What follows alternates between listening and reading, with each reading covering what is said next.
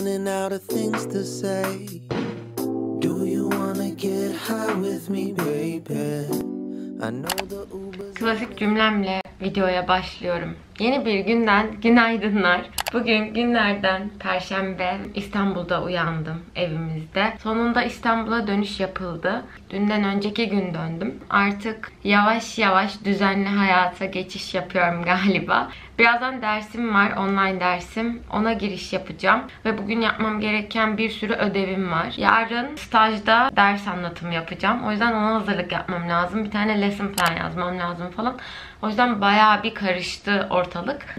Bu ajandamı dolduracağım. Yaklaşık bir aydır pek not almıyorum ne yapacağıma dair. Biraz anlık yaşıyordum. Ne yapmak istiyorsam onu yapıyordum. Çok da ödev falan olmuyordu açıkçası ama artık yavaş yavaş okul başladı diyebiliriz. Bizim okul biraz geç başladığı için anca yoğunlaşmaya başladı öyle söyleyeyim. Öyle yani zor uyandım bugün. Valizim çok ağırdı. O yüzden o beni bayağı yormuş. Oradan oraya taşı.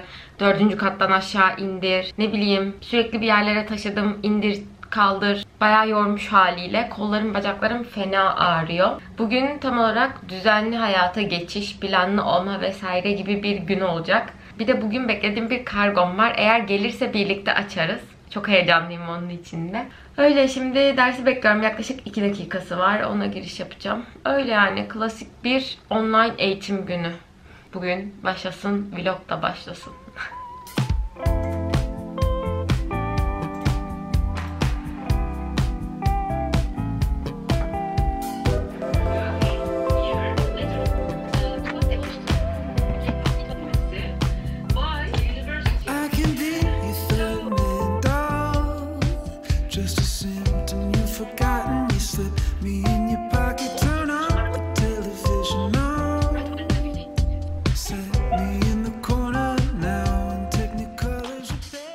Bir duş molasından sonra tekrardan bilgisayar başına geçiş yapıldı.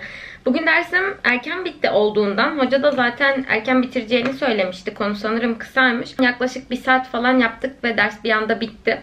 Ben de evi topladım, duş aldım. Kendime geleyim dedim çünkü gerçekten her yerim ağrıyor. Bütün kemiklerim biraz duş iyi gelir diye düşündüm. Ders planını hazırlamaya başlıyorum. Saat 2'de dersim var. Saat 12.30 olmuş. Bir buçuk saatte en azından yarısını falan tamamlasam süper olur. Çünkü akşama bunu halledip hocaya atmam lazım. Yani gözlemleyecekleri için ders planını derse girmeden önce görmek istiyorlar. Bir an önce bunu halletmem lazım ama Türkçe yazacağımız için biraz daha hızlı olacağını düşünüyorum. Normalde İngilizce yazıyoruz ama Türkçe eğitim veren okullarda derse girdiğim için staj okulu olarak o yüzden Türkçe ders planı hazırlıyoruz. Diğer hocalar da okuyabilsin diye. Bu niye bu kadar gereksiz bilgi verdim bilmiyorum ama neyse şu an ders planını hazırlamaya başlıyorum. Kargomu bekliyorum. Kargo gelecekmiş. Ee, mesaj geldi yani. Kargo geldiğinde birlikte açalım. Gerçi bu kadar heyecan yapmam gerek. Muhtemelen başlığa yazdım. Siz de oradan görmüş oldunuz. Neyse bir an önce şu ödeve bir başlayayım.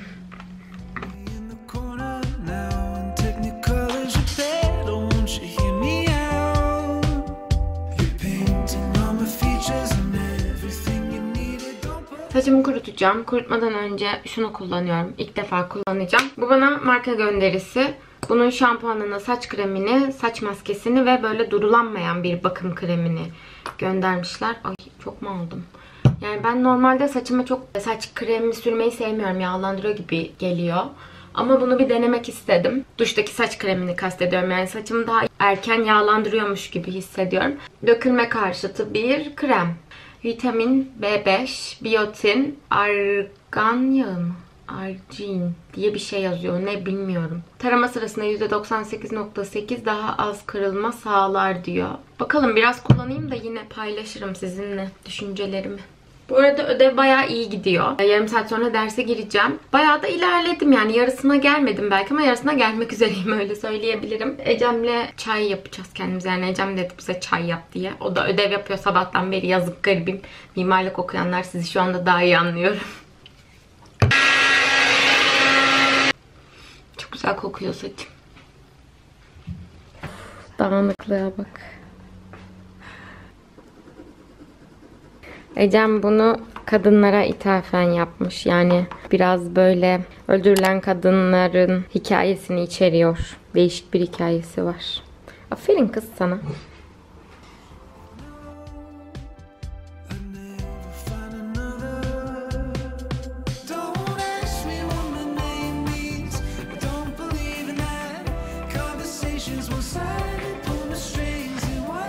Dostlar saçım bir garip ama kargom geldi.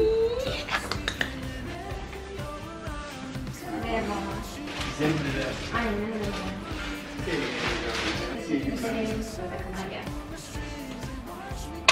Söylemiş miydim?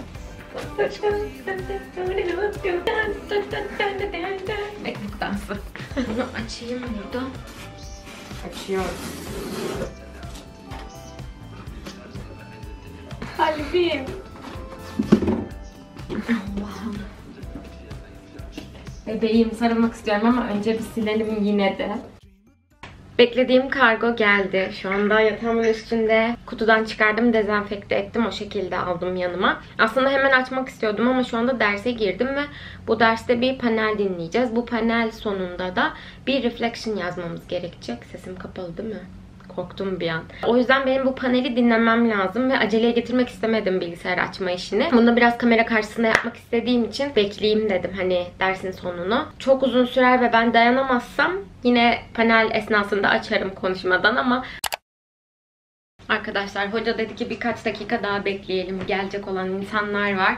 Panel olacağı için herkesin katılması lazım. Ben de bu arada dayanamayıp açacağım yani paketi. ASMR'ım olsa da keşke şu sesini çekebilsem.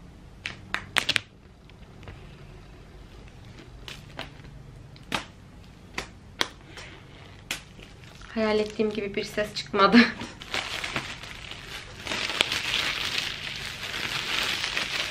Elimden geldiğince ses yapmaya çalışmam peki. Bu direkt açılıyor galiba. Kurulum falan gerekmiyor. Apple'larda, Macbook'larda yani öyle bir şeye gerek kalmıyor.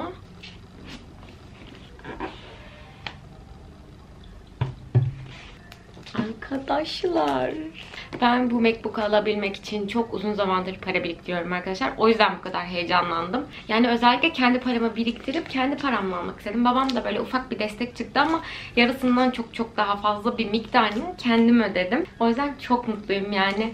Şunu elimde tutuyor olmak benim için bir başarı hikayesi yani.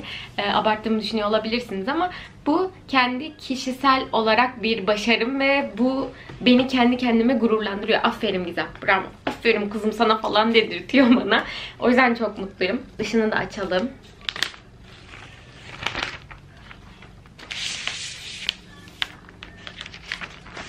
Tada! Kendi bilgisayarımla bir öncekiyle kıyaslayayım.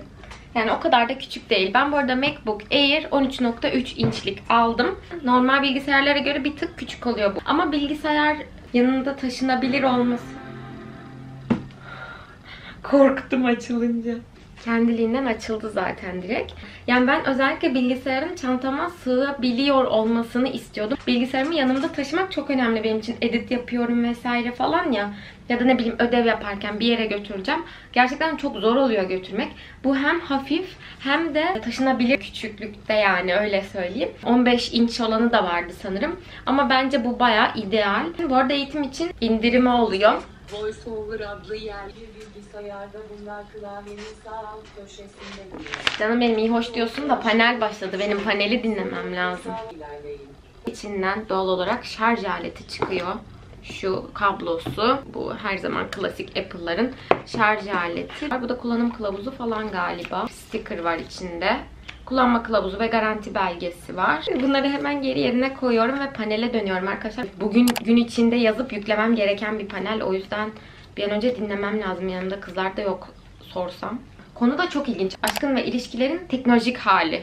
Panelin konusu bu. Gerçekten değişik bir panel olacak. Ee, Macbook'a akşam kaldığımız yerden bakmaya devam ederiz. Bir de size çok güzel bir fal sitesinden bahsedeceğim. Geçenlerde fal baktırdım. Ondan da bahsetmek istiyorum ama önce şu panele gireyim.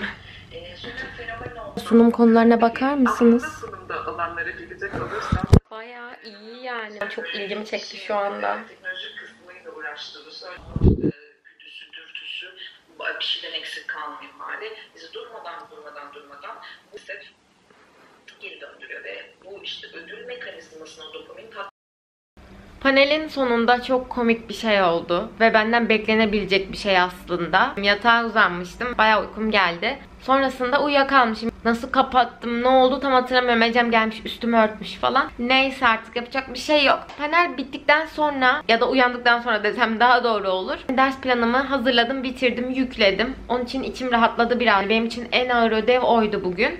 Onun dışında iki tane daha ödev var aslında yapmam gereken ama bir tanesinin süresi bir haftalıkmış. Ben bir günlük sanıyordum. Ben onu yarın falan da yapabilirim. Girdiğim panelle ilgili reflection'ı yazıyorum şu anda. Macbook'umu aldım yanıma. Diğer bilgisayarım kırılmıştı benim. Böyle önüme alınca arkasına bir şey dayamadan durmuyor maalesef. Her yerde kullanamıyordum. Bu açıdan bayağı rahatlatacak bu beni. Bunu da bitirmek üzereyim aslında aşırı acıktım ve ikimiz de şu an yemek yapabilecek pozisyonda değiliz ne Ecem ne ben. O yüzden dışarıdan yemek söylemek zorunda kaldık.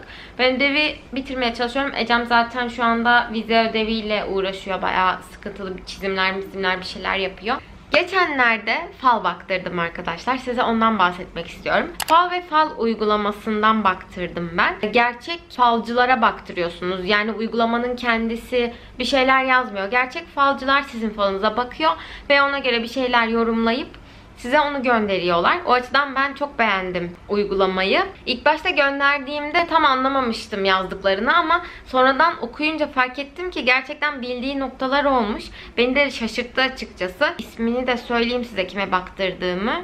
Bedri Tala olması lazım adı. Fal ve Fal'ın uygulamasına girdiğinizde hangi türde fal bakmak istediğinize dair seçenekler çıkıyor önünüze. Ben en çok kahve falı baktırmayı seviyorum. Fala inanma, falsızda kalmacılardanım ben. Daha sonra burada istediğiniz kişiye baktırabiliyorsunuz. Ben Bedri Tala'yı seçtim dediğim gibi. Ama birden fazla falcı var baktırabileceğiniz. Ne kadar fala baktığını, ne kadar puan aldığını da görebiliyorsunuz. Ben mesela falımı göndermeden önce kariyerle ilgili bir şeylere baktırmak istediğimi seçmiştim ve aklımdaki soruları soruyor. Ne kafanı kurcalıyor ya da neyi sormak istersin gibi. Kısaca göz atalım. Benim falımda neler çıkmış. Bu aralar bir şeyi çok istemişsin ama bunu bir türlü elde edemediğin için içine kapanmışsın. Bir süreyi işle ilgili beklentiler içinde geçirmişsin. Sakin geçen ve beklentilerinin karşılığını tam olarak alamadığını düşündüren bu sürenin biraz ilerisinde ivmede bir yükselme olacağını görüyorum. Gerçekten tempomu arttırdığımı söyleyebilirim. Bu dönemde iki ayrı yerden kazancın olabilir. Falında yeni bir oluşum için bir konuya odaklandığını görüyorum. Sen çok tez canlı birisin. Aşırı tez canlıyım, aşırı sabırsızım. Hemen olsun istiyorum. Yani şimdi hepsini tek tek okuyorum çünkü gerçekten uzun bakmış. Ya hepsini okuyamam şu anda. Uzun zamandır istediğin ama elde edemediğin bir şeyi elde edeceksin diyordu ve ben gerçekten bu kadar kısa sürede MacBook alacağımı tahmin etmiyordum. Mesela buna yoruyorum birazcık. Birkaç bir şey var yani. Bir dakika yemek geldi. Ecem. Böyle yani bu şekilde hepsini okumayayım sizi de sıkmayayım ama eğer siz de fal baktırmayı seviyorsanız ve böyle bir yer arıyorsanız buraya baktırabilirsiniz. Aşağıya da ben hatta linkini bırakayım size. Uygulaması da var. İnternette direkt web sitesi olarak da girebiliyorsunuz. İstediğiniz yerden baktırabilirsiniz. Yemeğimiz geldi. Yemeğimizi yiyelim bir an önce. Karnım doysun ve ödevi bitirmek istiyorum. Akşama televizyondan dizi izleyip birazcık kafa dağıtırım. Yarın ders anlatacağım. Çok heyecanlı. Ecem'in ödevine yardım ediyorum arkadaşlar. Kendiminkileri bitirdim. Şimdi Ecem'inkine yardım ediyorum. Bu kadar koca yürekli bir ablayım. Yazmalı olduğu için Ecem'inkine göre çabuk bitiyor. Bu biraz daha uğraş gerektiren bir şeyler. Bir yandan camdaki kızı izliyoruz. Bu ne benim nasıl bir oda? Ben bunun kitabını okudum ama hikaye tam olarak böyle değil kitapta. Kitabını okuduğum için merak ettim. Bir de Burcu Biricik'in oyunculuğunu çok beğeniyorum. Öyle bir bakayım istedim. Ay belim vardı. Ödev sonunda bitti ama biz de bittik. Bakar mısınız darmadan. Bu bir de toplanmış hali. Orada hala camda yapışkanlı bir şeyler var. Burada çöpler dolu. Ecem Hanım vize ödevini yetiştirecek diye biraz ona yardım ettim. Belim ağrıdı ya. İki şey yapıştırdım orada. Hemen bir yerlerim tutuldu. Şimdi. Ha? Yatmaya hazırlanıyorum. Ay böyle aynadan konuşmak istemiyorum. Bir dakika. Yatmaya hazırlanıyorum. Yüzümü yıkayacağım. Dişimi fırçalayacağım. Bir iki bölüm Modern Family izlerim. Ondan sonra da uyurum. Yarın çünkü büyük gün ders anlatımı yapacağım. O yüzden biraz heyecanlıyım. Burada da biraz alçak kaldı ama neyse. Erkenden uyanıp materyallerimi falan hazırlayacağım. Uykum yok öğlen uyuduğum için ama yine de erken uyumaya çalışacağım. Videoyu da burada kapatayım. Sohbeti bol bir video oldu galiba. Online eğitimdeki hızlı günlerimden, yoğun günlerimden bir tanesiydi. Panele katıldım, onun reflection'ını yazdım. Ders planı hazırladım. Testinin ödevini yaptım. Ecem'e yardım ettim. Derse girdim. Bugünlük benden bu kadar. Eğer videoyu beğendiyseniz beğenmeyi ve kanalıma abone değilseniz lütfen abone olmayı unutmayın. Sizi seviyorum. Bir sonraki videoda görüşmek üzere. Hoşçakalın.